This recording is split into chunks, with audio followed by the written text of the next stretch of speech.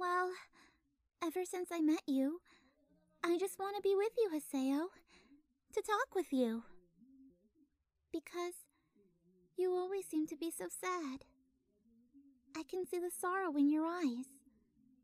I was wondering if there's anything I can do for you. Please wait!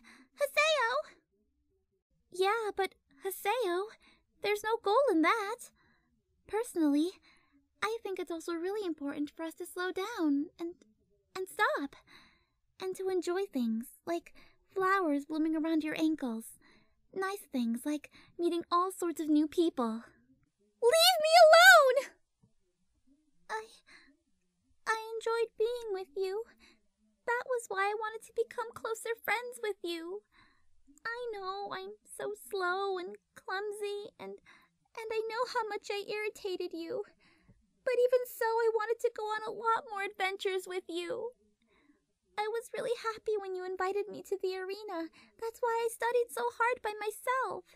About arts, spells, the different jobs, and the timing for recovery. Everything.